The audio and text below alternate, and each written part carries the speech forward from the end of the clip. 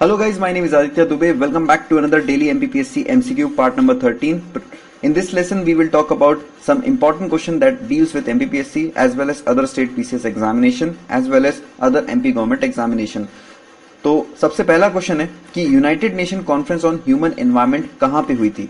Okay United Nation conference on human environment took place at तो ये हुई थी option A that is Stockholm जो है, वो स्वीडन की कैपिटल है.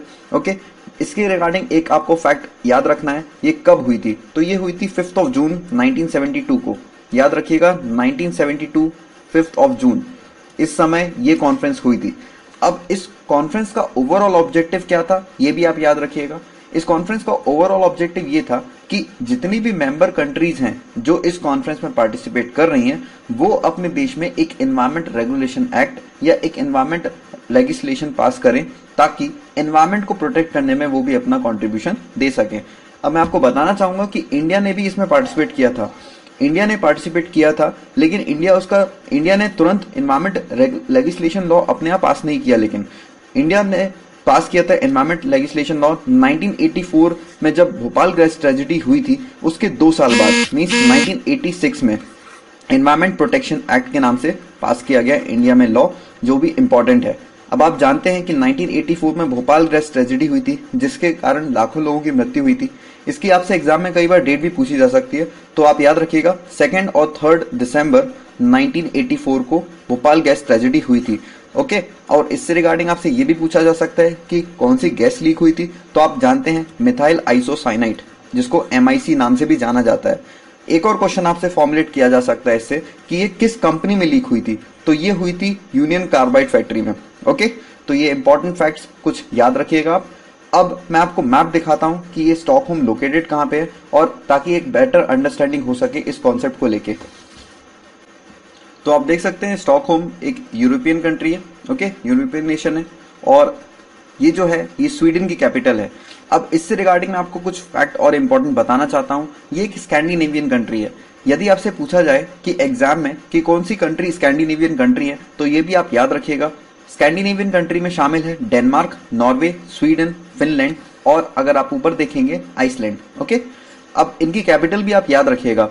अब आप जानते तो हैं स्वीडन की कैपिटल है स्टॉकहोम, लेकिन आपको नॉर्वे की कैपिटल भी पता होना चाहिए। ये बिलोंग करती है ऑस्लो ओके? यहाँ से हमारे famous world chess champion Magnus Carlsen है, जो कि चेस चैंपियन है, बहुत ही फ़ेमस है।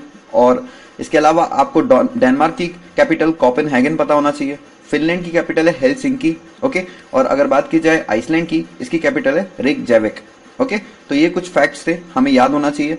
अब इंडिया ने 1972 मींस फिफ्थ ऑफ़ जून 1972 को जो स्वीडन में कॉन्फ्रेंस हुई थी, स्वीडन स्टॉकहोम में, उसमें पार्टिसिपेट किया था। लेकिन इंडिया में 1984 मींस अगर बात की जाए एग्जैक्ट डेट की तो सेकेंड ऑफ़ दिसंबर 1984 को भोपाल में गैस ट्रेजेडी हो गई थी। ये आप देख सकते हैं, भोपाल लोकेटेड है।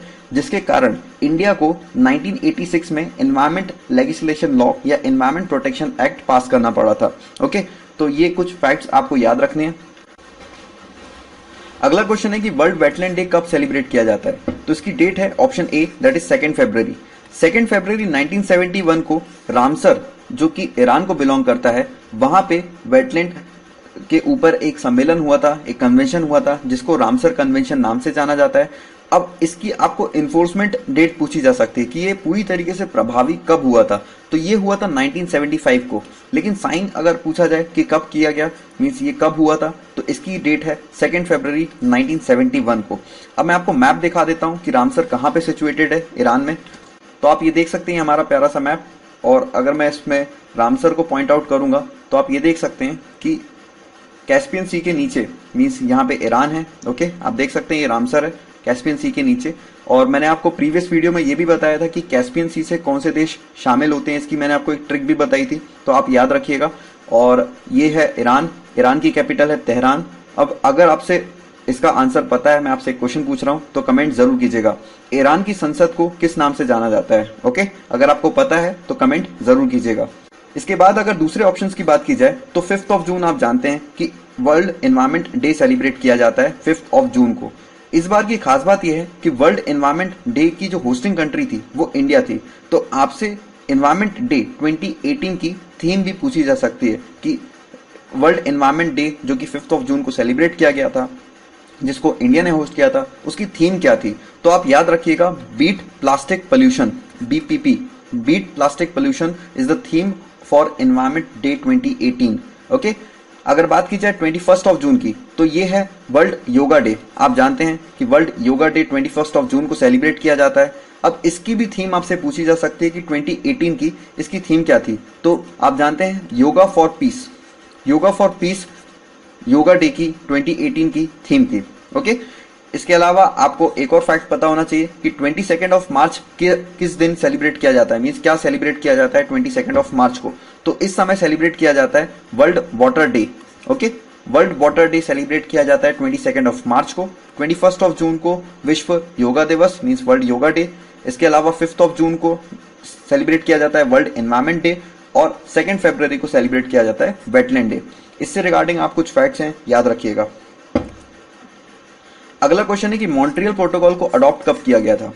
तो आपको मैं बताना चाहूँगा, इसका सही आंसर है option A that is 1987 Montreal protocol जो है, पहले तो ये जान लेते हैं कि मॉन्ट्रियल लोकेटेड कहाँ पे एक मैप में देख के ज़्यादा अच्छी से अंडरस्टैंडिंग ले लेते हैं। तो ये है हमारा ग्लोब और अगर मैं मॉन्ट्रियल को जूम करूँ तो आप यहाँ पे देखेंगे कि कनाडा में सिचुएटेड है मॉन्ट्रियल ओके ये आप देख सकते हैं मॉन्ट्रियल और कनाडा की कैपिटल अगर पूछी जाए आपसे तो ये है ओटावा ओके मॉन्ट्रियल जो है, वो पेपर इंडस्ट्रीज़ के लिए फ़ेमस है ओके कागज़ मंडी के लिए प्रसिद्ध है, मॉन्ट्रियल, कनाडा का जो है, और ये आपको याद होना चाहिए। अब हम दूसरे ऑप्शंस के साथ डील करते हैं। अब 1987 में मॉन्ट्रियल प्रोटोकॉल हुआ था। ये किस लिए हुआ था, ये भी आप याद रखिएगा। ये इसलिए हुआ था कि जो सब्सटेंस ओजोन लेयर को डिप्लीट करते हैं। उनके खिलाफ एक्शन लेने के लिए मॉन्ट्रियल प्रोटोकॉल, जो कि कनाडा में है, वहाँ पे हुआ था। अब आपको ये भी इसकी डेट याद रखनी है, ये कब हुआ था। तो इसकी एग्जैक्ट डेट है सिक्सटीन ऑफ़ सेप्टेम्बर 1987 को।